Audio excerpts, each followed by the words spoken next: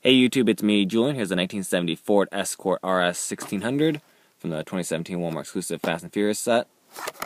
There's the back of the card. I do have them all to review, so be on the lookout for those. So Hot Wheels did release this color before in the main line, but the other one wasn't a metal flake. It's kind of more of a light blue. Definitely not as sparkly as this one. I think I like this one better in my opinion. Just like it, because I like the sparkly bit better. There it is, pretty cool. got side details on there, or side tampos, and the door handle and locks or detail in there. There's the front. It says Ford on the hood. With the stripe, pretty sweet. It's a pretty awesome casting. Uh, there's the uh, plastic base. Even the base is pretty shiny.